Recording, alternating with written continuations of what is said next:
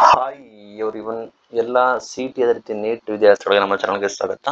Option two ಇದ್ರ result sheet ಇರುತ್ತೆ, ನಿಮಗೆ ಯಾವ ರೀತಿ ಇರುತ್ತೆ, ಏನು ಎತ್ತ ಅದೇ ರೀತಿ ನಿಮಗೆ ನಿಮಗೆ ಯಾವ ರೀತಿ ರಿಸಲ್ಟ್ನ ನೋಡೋದ್ರ ಬಗ್ಗೆ ಡೀಟೇಲ್ ಆಗಿ ಮಾಹಿತಿಯನ್ನು ಕೊಡ್ತೀನಿ. ಯಾವಾಗ ನಿಮಗೆ ಈ ಸೀಟ್ ಅಲಾಟ್ಮೆಂಟ್ ಹೇಗೆ ಆಗುತ್ತೆ ಅಂತ.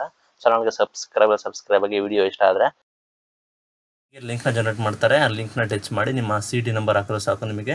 ಈಸಿಯಾಗಿ ಸೀಟ್ ಅಲಾಟ್ಮೆಂಟ್ ಆಗೋದು ತೋರಿಸುತ್ತೆ. ಯಾವುದೇ ರೀತಿ ಟೆನ್ಷನ್ ತೊಗೊಳಂಗಿಲ್ಲ.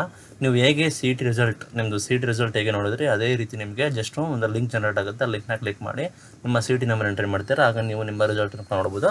ನಿಮಗೆ ಈ ರೀತಿ ರಿಸಲ್ಟ್ ಅಲಾಟ್ಮೆಂಟ್ ಸೀಟ್ ನಿಮಗೆ ಈ ರೀತಿ ಕಾಣುತ್ತೆ ಸ್ಕ್ರೀನ್ ಮೇಲೆ ಕಾಣ್ತಾ ಇದೆ. ಇಲ್ಲಿ ಫಸ್ಟಿಗೆ ಸಿ ಟಿ ನಂಬರ್ ಇರುತ್ತೆ ನಿಮ್ಮದು ನೇಮ್ ಇರುತ್ತೆ ನಿಮ್ಮದು ಕ್ಲೈಮೇಟ್ ಕ್ಯಾಟಗರಿ ಇರುತ್ತೆ.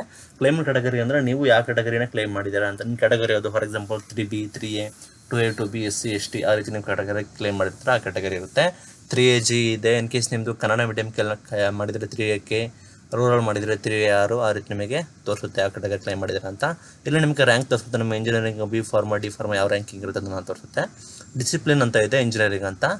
ನಿಮಗೆ ಇಂಜಿನಿಯರಿಂಗಲ್ಲಿ ಸೀಟ್ ಅಲಾಟ್ಮೆಂಟ್ ಆಗಿದ್ರೆ ಇಂಜಿನಿಯರಿಂಗ್ ಬಿ ಫಾರ್ಮ್ ಆಗಿದ್ರೆ ಬಿ ಫಾರ್ಮಾ ಡಿ ಫಾರ್ಮರ್ ಆಗಿದ್ರೆ ಡಿ ಫಾರ್ಮ್ ಅಂತ ಡಿಸಿಪ್ಲಿನ್ ತೋರಿಸುತ್ತೆ ಯಾವುದು ಅಂತ ನಿಮಗೆ ಕಾಲೇಜ್ ಅಲಾಟೆಡ್ ನಿಮ್ಗೆ ಕಾಲೇಜ್ ಯಾವ ಅಲಾಟ್ಮೆಂಟ್ ಆಗಿದೆ ಅಂತ ಹೇಳಿ ನಿಮಗೆ ತೋರಿಸುತ್ತೆ. ಇಲ್ಲಿ ನೋಡಿ ಈ ವಿದ್ಯಾರ್ಥಿಗೆ ಇದು ಹಳೆಯದು ಬಟ್ ಈ ವಿದ್ಯಾರ್ಥಿಗೆ Visvesvara college of engineering K R circle Bengaluru ಆಗಿದೆ. ಇಲ್ಲಿ ಯಾವ ಕೋರ್ಸ್ ಆಗಿದೆ ಕಾಲೇಜ್ ಅಂತ ತೋರಿಸುತ್ತೆ ವಿತ್ ಕೋರ್ಸ್ ಕೋಡು ಅದೇ ರೀತಿ ಕ್ಯಾಟಗರಿ ಅಲಾಟೆಡ್ ನಿಮಗೆ ಯಾವ ಕ್ಯಾಟಗರಿ ಮೇಲೆ ಸೀಟ್ ಆಗಿದೆ ಅಂತ ತೋರಿಸುತ್ತೆ. ಜಿ ಎಂ ಎಚ್ ಅಂದರೆ ಜನರಲ್ ಮೆರಿಟ್ ಅಂಡರ್ ನಿಮಗೆ ಸೀಟ್ ಆಗಿರುತ್ತೆ. ಆ ರೀತಿ ನಿಮಗೂ ಕೂಡ ಆಗಿರುತ್ತೆ. ಏನಂದರೆ ನಿಮಗೆ ನಿಮ್ಮ ಕಟ್ ನಿಮ್ಮದೇ ಕ್ಯಾಟಗರಿ ಸೀಟ್ ಅಲಾಟ್ಮೆಂಟ್ ಆಗುತ್ತೆ ಅಂತ ಇಲ್ಲ, ನಿಮ್ಗೆ ಫಾರ್ ಎಕ್ಸಾಂಪಲ್ ನಿಮ್ಮದು ತ್ರೀ ಎ ಆಗಿರುತ್ತೆ. ನಿಮಗೂ ತ್ರೀ ಎ ಅಂದರೆ ತ್ರೀ ಎ ಜಿ ಇಂದನೇ ಆಗಬೇಕು ಅಂತ ಇಲ್ಲ ನಿಮಗೆ ಜನರಲ್ ಮೆರಿಟಿಂದ ಕೂಡ ಸೀಟ್ ಅಲಾಟ್ಮೆಂಟ್ ಆಗ್ಬೋದು. ಆ ರೀತಿ ನಿಮಗೆ ಸಪ್ರೇಟ್ ಕೋಟೆಗಳಿರ್ತವೆ ಜನರಲ್ ಮೆರಿಟ್ ಕೊಟ್ಟಾಗ ಎಲ್ಲರೂ ಕೂಡ ಎಲಿಜಿಬಲ್ ಆಗ್ತಾರೆ ನಮಗೆ ಗೊತ್ತಿರೋ ಜನರಲ್ ಮೆರಿಟ್ಗೆ ನಿಮಗೆ ಆ ಇದರಿಂದ ಸೀಟ್ ಆಗ್ಬೋದು. ಅದೇ ರೀತಿ ನಿಮ್ಮ ಕ್ಯಾಟಗರಿ ಸೀಟೇ ಆಗ್ಬೋದು. ಆ ರೀತಿ ನಿಮಗೆ ಬೇಜಾರು ಆಪ್ಷನ್ ಇರುತ್ತೆ. ನಂತರ ಡೇಟ್ ಏನಂತ ಮೆನ್ಷನ್ ಮಾಡಿರ್ತಾರೆ ಆ ಡೇಟ್ ನಂತರ ನಂತರ ಆಪ್ಷನ್ ಎಂಟ್ರಿ ಎಲ್ಲಿವರೆಗೂ ಮಾತ್ರ ಕನ್ಸಿಡರ್ ಮಾಡಿದ್ದೀವಿ ಅಂತ ಹೇಳಿದ್ದಾರೆ. ನಂತರ ನೀವು ಆಲ್ಟರ್ ಮಾಡೋಕ್ಕೆ ಯಾವತ್ತು ಅಂತ ಹೇಳಿ ಇಲ್ಲಿ ಮೆನ್ಷನ್ ಮಾಡಿದ್ದಾರೆ. ಈ ರೀತಿ ನಿಮಗೆ ಸಿಂಪಲ್ ಆಗಿ ನಿಮಗೆ ರಿಸಲ್ಟ್ ಶೀಟ್ ಕಾಣುತ್ತೆ. ಜಸ್ಟ್ ನಿಮಗೆ ಮಾಕ್ ಅಲಾಟ್ಮೆಂಟ್ ರಿಸಲ್ಟ್ ಅಂತಂದರೆ ಮಾಕ್ ಅಲಾಟ್ಮೆಂಟ್ ರಿಸಲ್ಟ್ ಅಂತ ಇರುತ್ತೆ. ನಂತರ ನಿಮಗೆ ಚಾಯ್ಸಸ್ ಇರುತ್ತೆ ಎಡಿಟ್ ಮಾಡೋಕ್ಕೆ ಮಾಡಿಫೈ ಮಾಡೋಕ್ಕೆ, ತಲೆ ಕೆಡಿಸ್ಕೊಬಿಡಿ. ಬಟ್ ವಿದ್ಯಾರ್ಥಿಗಳಿಗೆ ನೋಡ್ಕೊಳ್ಳಿ, ನಿಮಗೆ ಒಂದು ಐಡಿಯಾ ಬರುತ್ತೆ ಈ ರೀತಿ ಸೀಟ್ ಅಲಾಟ್ಮೆಂಟ್ ಆಗುತ್ತೆ, ಈ ರೀತಿ ಇರುತ್ತೆ ಅಂತ.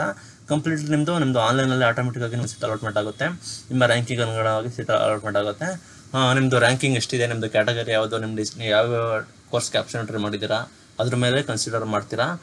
ಫಾರ್ ಎಕ್ಸಾಂಪಲ್ ಟಾಪ್ ಕಾಲೇಜಲ್ಲಾದ್ರೆ ಕಾಂಪಿಟೇಷನ್ ಜಾಸ್ತಿ ಇರುತ್ತೆ. ಸಾಕಷ್ಟು ವಿದ್ಯಾರ್ಥಿಗಳು ಒಂದೇ ಕಾಲೇಜ್ಗೆ ಆಕ್ಸೆಸ್ ಮಾಡ್ತಾರೆ. ಆ ನಿಟ್ಟಿನಲ್ಲಿ ಭಾರಿ ಕಷ್ಟ ಆಗುತ್ತೆ. ಬಟ್ ಲೋ ಲೆವೆಲ್ ಮೀಡಿಯಂ ಕಾಲೇಜ್ಗಳಲ್ಲಿ ಜಾಸ್ತಿ ಜನ ಆಪ್ಷನ್ ಎಂಟ್ರಿ ಮಾಡೋದಿಲ್ಲ. ಕಡಿಮೆ ಜನ ಆಪ್ಷನ್ ಎಂಟ್ರಿ ಮಾಡ್ತಾರೆ. ಅವರಿಗೆ ಬೇಗ ಕಾಲೇಜ್ ಸಿಗ್ಬೋದು.